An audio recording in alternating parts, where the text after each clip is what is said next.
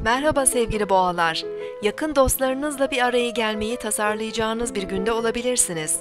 Kalabalık sosyal ortamlara dahil olmak günün ana konusu olabilir. Yeni tanışmalara hazırlanın.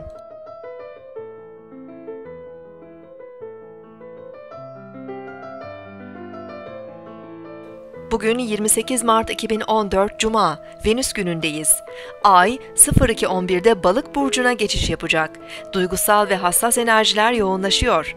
Ay sonunda doğacak yeni ay öncesinde ayın ışığı azalıyor. Bazı konularda tamamlanmalar ve bitişler meydana gelebilir. Hayatımızdan çıkarmak istediğimiz kavramlara yoğunlaşabilir ve ay Balık burcundayken onlardan vazgeçebiliriz. Bugün yakın çevremize karşı daha duyarlı davranabilir, empati yapabiliriz. Sezgilerimiz ve yaratıcılarımız arttığı için sanatsal konularda da verimimiz artabilir.